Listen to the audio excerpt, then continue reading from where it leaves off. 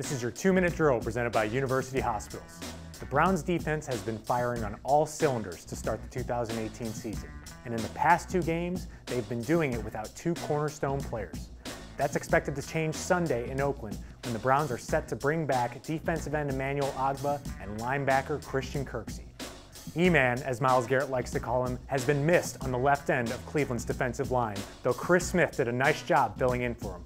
Ogbah is best against the run, and the Browns will look to be better in that area going up against beast mode and the rest of Oakland's running backs.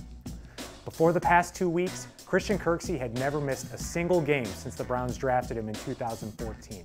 He is as productive and consistent as they come, and his return comes at the absolute perfect time. James Burgess, who had been filling in for Kirksey, is dealing with an injury and may not be available against the Raiders. The Browns lead the league in takeaways and are tied for seventh with nine sacks. Now we get to see them at full strength as they look for two straight wins when they travel to Oakland and face the Raiders in the black hole. Keep it locked on clevelandbrowns.com and the Browns mobile app for all the latest news, interviews, and more as the Browns prepare for Oakland on Sunday.